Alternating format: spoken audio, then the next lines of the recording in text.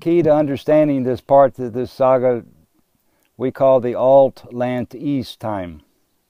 Alt, A L T, A L T. Alt means all the. Land means land, and East means ice. All land, ice. It later became what we call Atlantis today, but the original name was called Altlantis.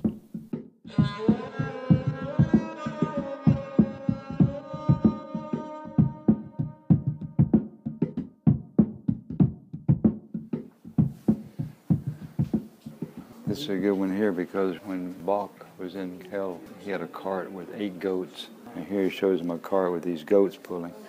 He had eight of these goats. He shows two here, but there's actually eight goats that pulls him.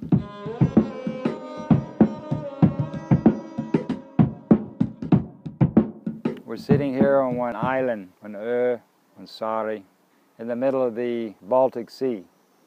And the name for this island is today called Gotland. And in the saga, this island has a very big part in uh, part of this history of our planet.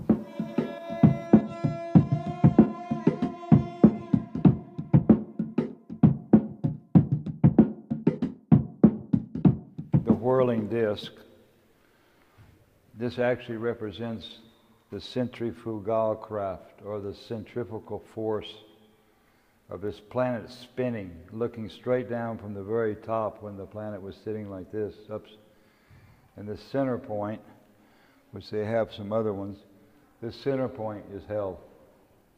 One ring in the middle. Uh, we'll look at another one in the middle. And in the center of that ring is the very north pole of the planet.